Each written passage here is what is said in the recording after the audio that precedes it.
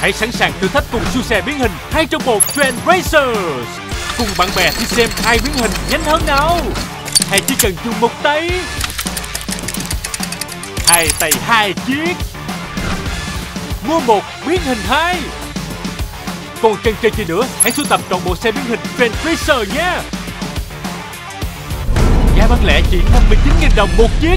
Vector kiến tạo niềm vui. Sản phẩm có bán tại My Kingdom nhà sách siêu thị trên toàn quốc.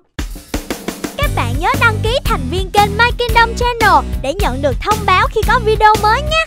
Đăng ký thành viên hoàn toàn miễn phí nha các bạn. Cảm ơn các bạn đã xem video này.